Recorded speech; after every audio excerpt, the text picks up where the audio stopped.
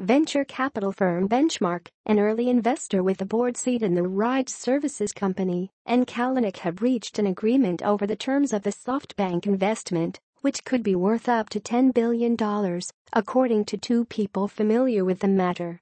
The Uber board first agreed more than a month ago to bring in SoftBank as an investor and board member, but negotiations have been slowed by ongoing fighting between Benchmark and Kalanick. The agreement struck Sunday removed the final obstacle, allowing SoftBank to proceed with an offer to buy stock. Uber confirmed the deal was moving forward. We've entered into an agreement with a consortium led by SoftBank and Dragoneer on a potential investment, an Uber spokesman said. We believe this agreement is a strong vote of confidence in Uber's long-term potential. SoftBank, a Japanese conglomerate that has become a heavyweight in Silicon Valley tech investing, is joined by Dragoneer Investment Group in leading a consortium of investors that plans to invest $1 billion $1.25 billion in Uber.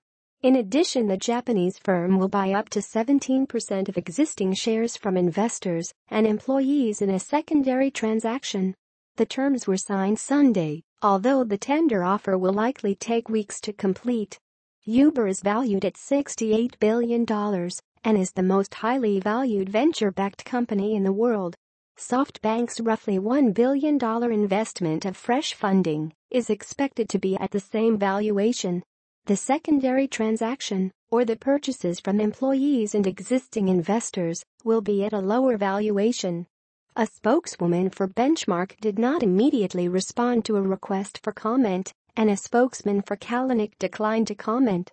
Completing the SoftBank deal will allow Uber to open a new chapter after a year of controversy, including the resignation of Kalanick, the ouster of several top executives, allegations of sexual harassment and discrimination, and multiple federal criminal probes.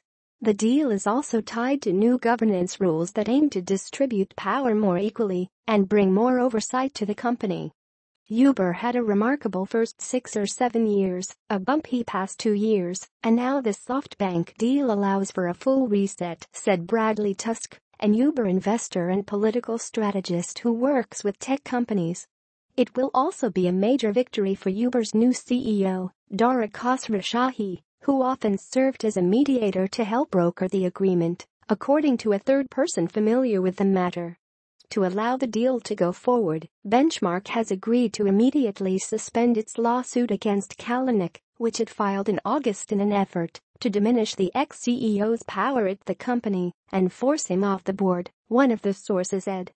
On the successful completion of the SoftBank investment, Benchmark will drop the lawsuit entirely, the person said. In turn, Kalanick must receive majority board approval should he want to replace the board seats over which he has control, according to the source. In addition to his own seat, Kalanick controls two more, which are currently occupied by Ursula Burns, the former Xerox Corporation CEO and former Merrill Lynch Company. Incorporated CEO John Thain. Kalanick appointed them in September without first consulting with the board. Ending the litigation is a big step forward if it finally ends the specter of Kalanick retaking control, said Eric Gordon, an entrepreneurship expert at the University of Michigan's Ross School of Business. Uber's board already approved a slate of governance reforms that are contingent on completion of the SoftBank deal. They include removing supervoting rights that gave Kalanick and his allies outsized power, adding new independent directors and increasing the size of the board to 17. Uber plans to run newspaper ads informing investors about the share purchase, and SoftBank will propose a price at which it will buy stock. The company has threatened to invest in ride-hailing rival Lyft if it does not seal the deal with Uber. The deal gives early investors such as Benchmark whose Uber stake is worth nearly $9 billion, the opportunity to cash out a very lucrative investment